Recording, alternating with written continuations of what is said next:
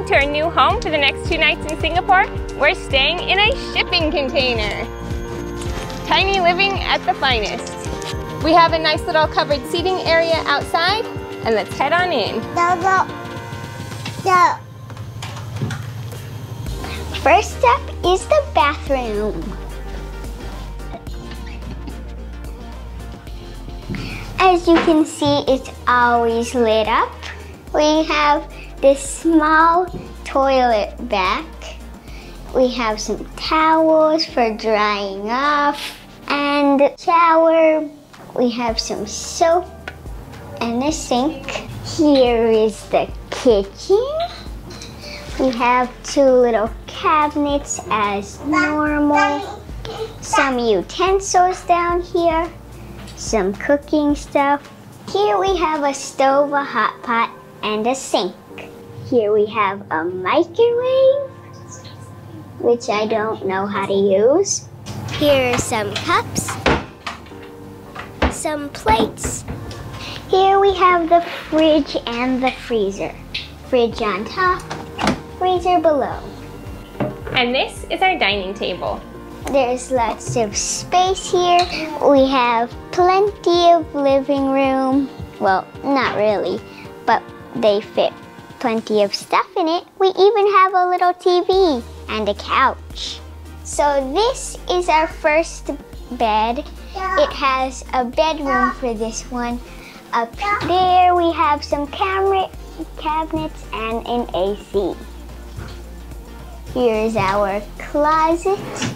And let's have a dance party.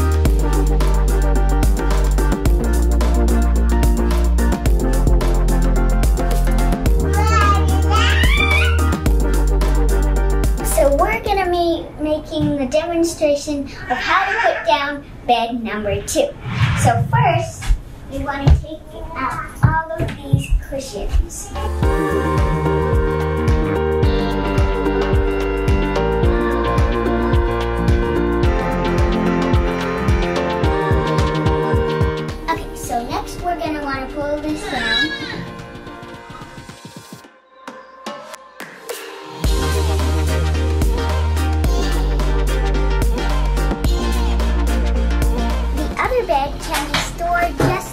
This one. Here's some pillows for your bed, kids. Mm. Pillows. One of the most interesting things about the shipping container hotel is its location. It's up a winding road and right next to Haw Par Villa with some very interesting statues.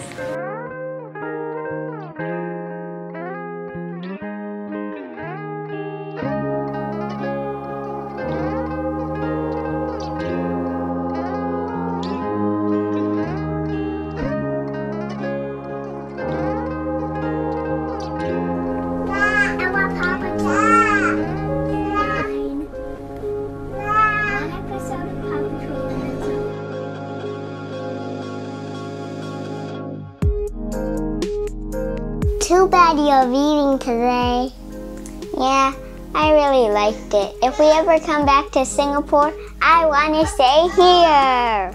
I like the fold down bed. There's a table to eat at. We could even watch TV in bed. We watch Sonic. Did you order goodies? Here we go. We got us gluten-free goodies for our last morning here.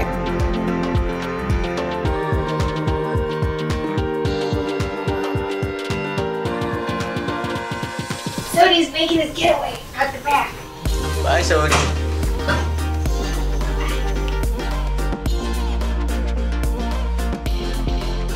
The container is 40 feet long and 10 feet high, which gives the illusion of a lot more space. I highly recommend the Shipping Container Hotel if you're visiting Singapore with a family. It's like having your own little home, and it's more affordable than a hotel.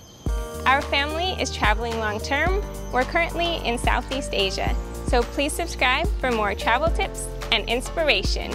Our kids keep asking to come back to Singapore and stay again in the Shipping Container Hotel, so maybe we'll be back again.